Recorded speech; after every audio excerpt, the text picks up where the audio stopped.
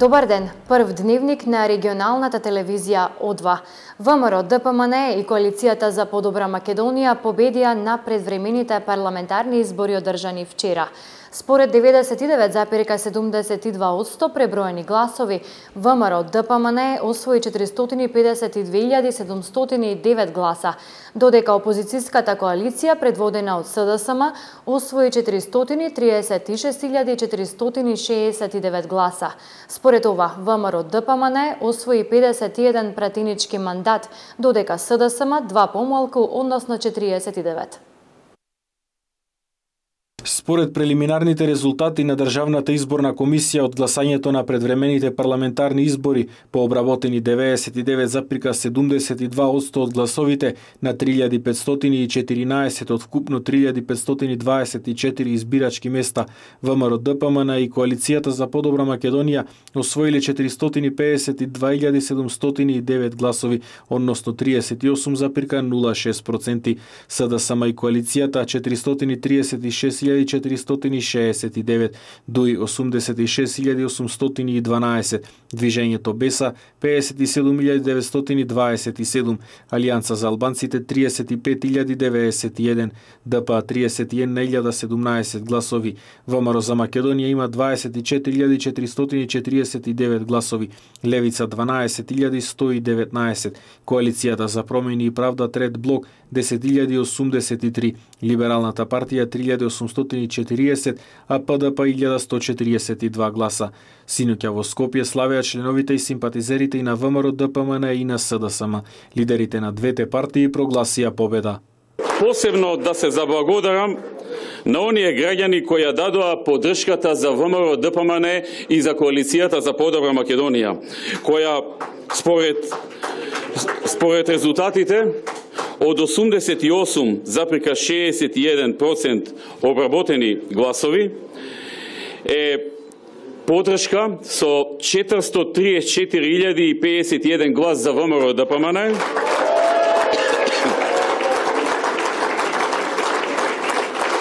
наспроти 415-258 за СДСМ. И со тоа, ВМРО ДПМН е победник на овие избори во Република Македонија. Опозицијата предводена од Социјалдемократскиот сојуз, заедно со граѓаните, има еден мандат повеќе.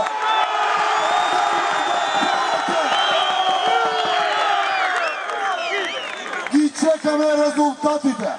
Ги чекаме резултатите, но во моментот водиме со еден мандат повеќе. Инаку според досега уработените податоци од Државната изборна комисија и направената симулација за освоени пратенички мандати, ВМРО ДПМН освојува 51 пратеник, СДСМ 49, ДУИ 10, БЕСА 5, Алијанса за албанците 3 и ДПА 2 мандати. Со оглед на тоа што диаспората не освои ниту еден пратеник, следниот пратенички состав ќе брои 120 пратеници, односно потребни се 61 пратеник за формирање на влада. Председател на Државната изборна комисија Александар Чичаковски соопшти дека бројот на освоени мандати ќе биде објавен во понеделник. Државната изборна комисија и главните политички партии оценија дека изборите во Македонија поминаа во мирна, фер и демократска атмосфера. Предвремените парламентарни избори поминаа во мирна и демократска атмосфера. Мирно беше и во Охрид без поголеми инциденти, велат од секторот за внатрешни работи и додаваат дека полициски службеници постојано патролирале низ Охридскиот регион. Во текот на вчерашниот ден СВР Охрид не забележа нарушување на јавниот ред и мир или други нарушувања и повреди на изборниот процес безбедносната состојба беше стабилна и поволна и да напоменам дека не се регистрирани апсолутно никакви проблеми кои што сериозно би го нарушиле изборниот процес. И овој случај кој што беше во текот на вчерашната ноќ во Охрид апсолутно не е поврзан со изборниот ден. Во рокот 20 дена по одржаните избори треба да се конституира новиот состав на Собранието, пишува во член 63 од Уставот на Република Македонија.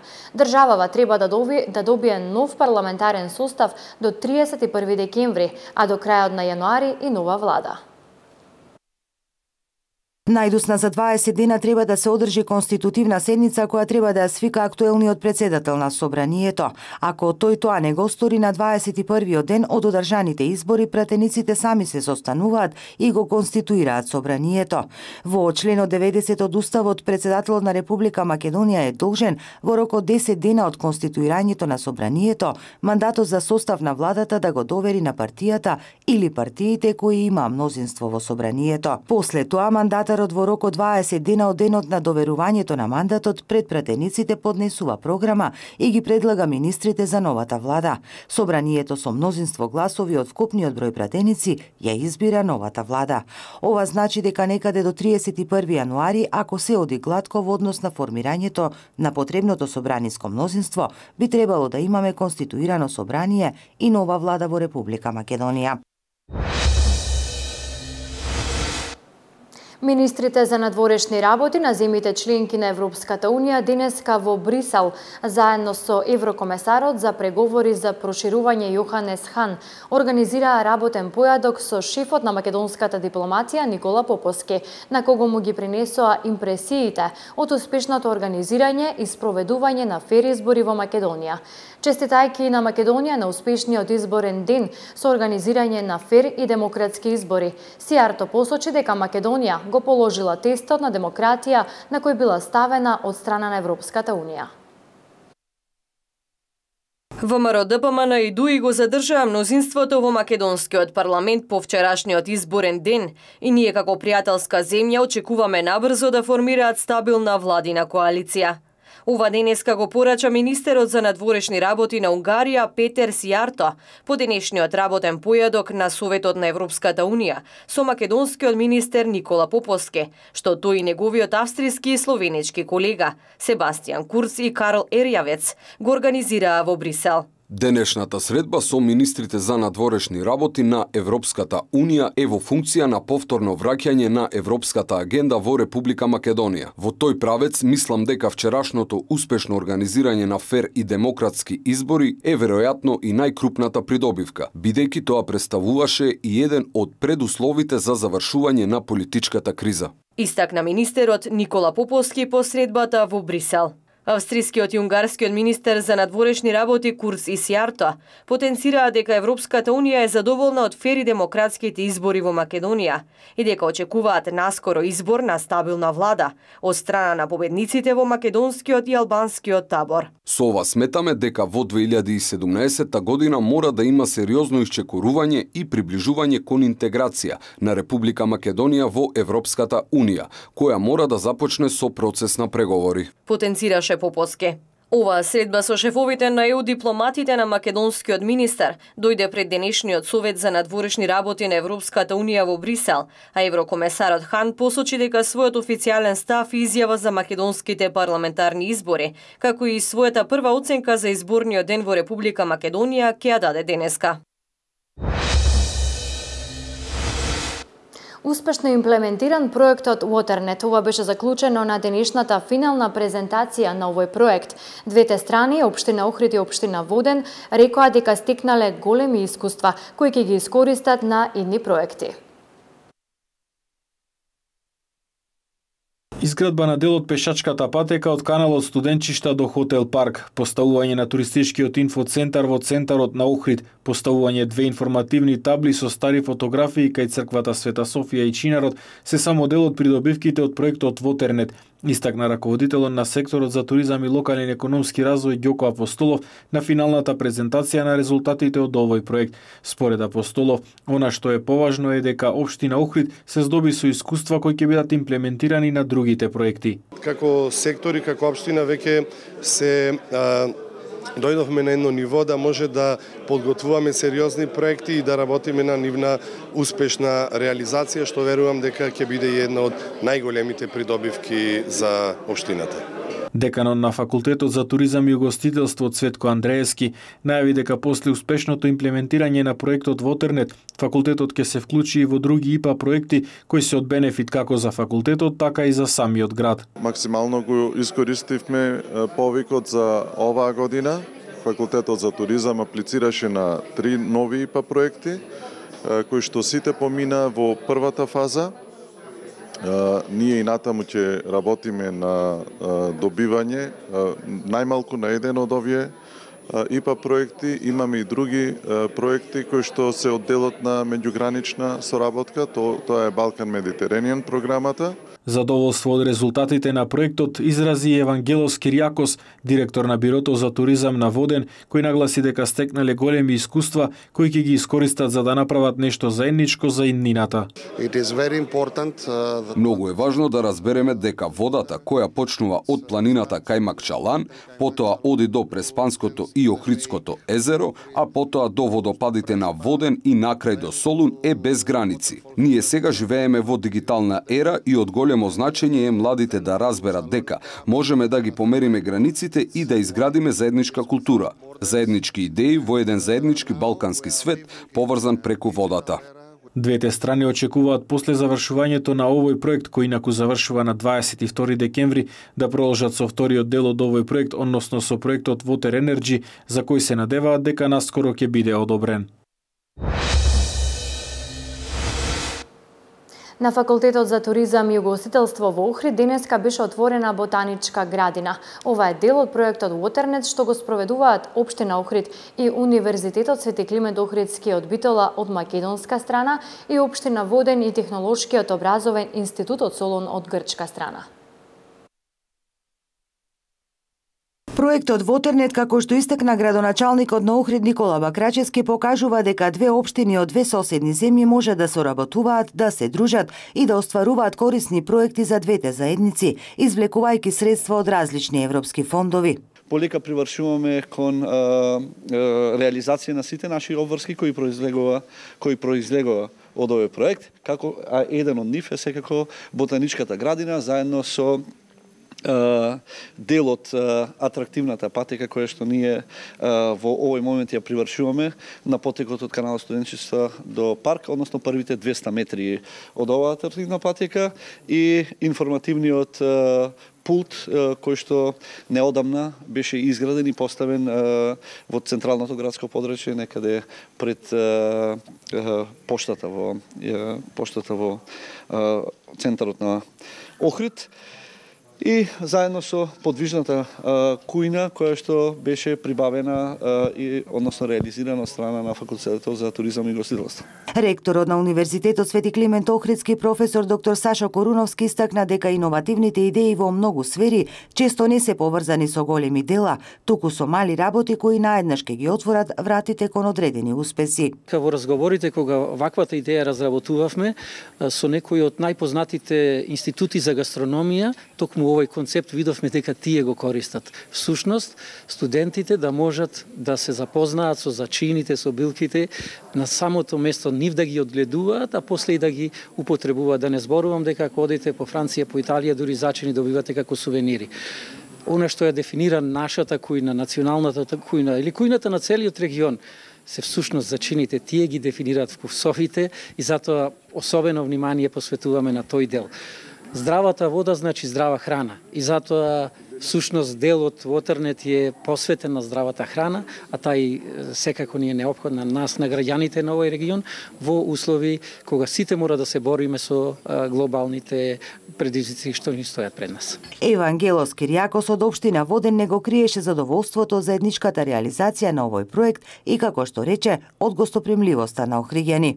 We are very proud that we have such a collaborators, uh, Mr. Dr. Nikola Bakratevski, Среќни сме што соработуваме со општина Охрид. Овде сме да ги отвориме границите, да соработуваме. Треба да ги искористите можностите на чистата вода што ја имаме кај нас во водопадите, а овде во Охридското езеро.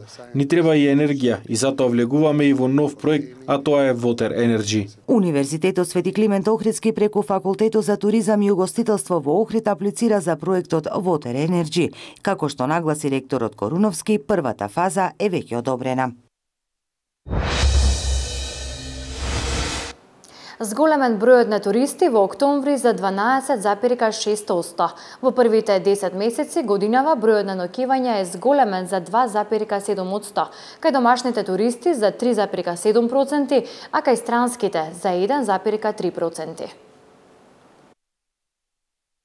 Бројот на туристи во октомври годинава изнесува 69.412, а бројот на нокевања 155.719, што во однос на октомври минатата година представува зголемување за 12,6 одсто, односно за 9,3 одсто, објави денеска Државниот завод за статистика. Кај бројот на домашни туристи статистиката во октомври годинава, споредена со октомври минатата година, забележала зголемување за 12,3 од 100, а кај странските за 12,8 од 100. Пораст од 13,5% има кај бројот на ноќевања на домашните туристи, а од 6,4% на ноќевањата на странските туристи. Во периодот јануари-октомври годинава, во однос на истиот период од предходната година, бројот на туристите е зголемен за 5%, кај домашните за 5,3%, а кај странските за 4,8%. Во првите 10 месеци годинава бројот на ноќевања е зголемен за 2,7%, кај домашните туристи за 3,7%, а кај странските за 1,3%. Агенцијата за промоција и поддршка на туризму на Република Македонија на саемот во Измир, Турција, ја промовираше туристичката понуда на Македонија пред 40.000 посетители во периодот од 8 до 11 декември. На сајмот за туризам во Измир, Турција, оваа година има повеќе од 1000 излагачи и огромна заинтересираност за организирани тури во Македонија и Балканот. Турските туристи се главно повозрасни и се заинтересирани за групно патување, додека помладите сакаат патувањето да им трае подолго и да го организираат по собствена желба. Кога се во посета на Македонија и Балканот, турците се заинтересирани за историја, култура и храна, кои доаѓаат како резултат на блиската историја на овие две земји и желбата на турците да ја истражат истата. На саемот за туризам во Измир, делегација на Агенцијата за туризам оствари бројни состаноци со турски туроператори, а штандот на Македонија бил посетен од турскиот министер за култура и туризам Наби Авци и градоначалникот на Измир Азис Кодзауглу. Доцна синоќа секторот за внатрешни работи од Охрид го приведе и од слобода го лиши 52 годишниот охриѓанец НТ поради постоење на основи на сомнение дека е сторител на кривичното дело убиство во обид. НТ бил приведен по кусо време откако во 23 часот и 45 минути во полициската станица во Охрид било добиено телефонско известување за случајно пукање од огнено оружје во една сенвичарница во центарот на Охрид на улицата Македонски просветители. Тука пристигнал сега приведениот и забележувајќи го 33 годишниот охриѓанец АИ, настанала меѓусебна вербална расправија која набрзо преминала во жестока тепачка, информира портпаролот на СВР Охрид Стефан Димовски. За мошне кратко време Савар Охрид го пронеде, го приведе и од слобода го лиши можниот сторител на казненото дело убиство во Обид. Се работи за 52 годишен охријанец кој што 15 на минути пред полноќ во сендвичара во Охрид се сретнал со 33 годишен сограѓанин со кој што од поодамна имале нерасчистени меѓусебни односи. Во сендвичарата во центарот на градот се случила жестока вербална меѓусебна расправија која што набрзо прераснала во тепачка. Во тој момент сега приведениот извадил огнено оружје пиштол кое што нелегално го поседувал и во таа турканица испукал неколку куршуми со кои и го повредил 33 годишниот охриѓанец, нанесувајќи му тешки телесни повреди во пределот на нозете. Повредениот во синокешниот инцидент е пренесен во јавната здравствена установа Обшта болница во Охрид и по укажаната лекарска помош е префрлен во специјалната болница Свети Еразмо во Охрид за понатамошно лекување. По консултација со јавен обвинител и по целосно расчистување на настанот, СВР Охрид против НТ ке поднесе соодветна кривична пријава.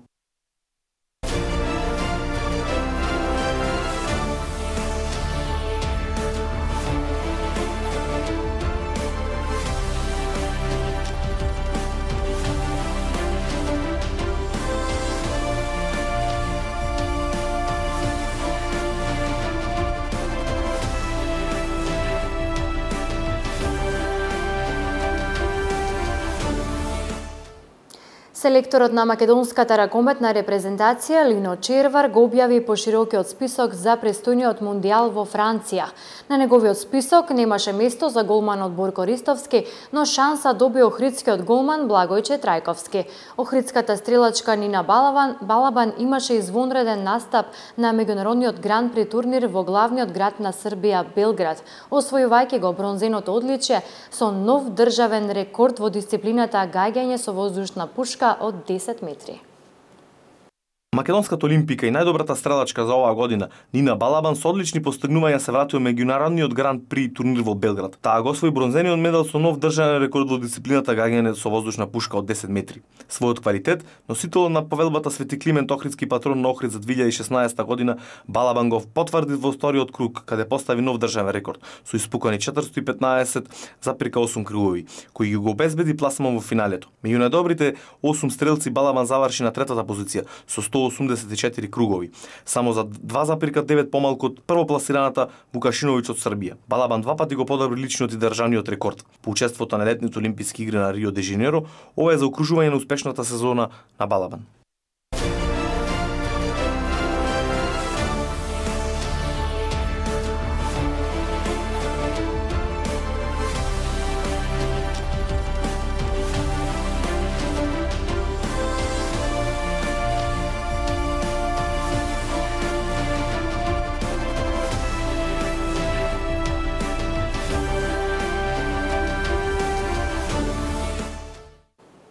Во дневникот на регионалната одва, минути и за временската прогноза.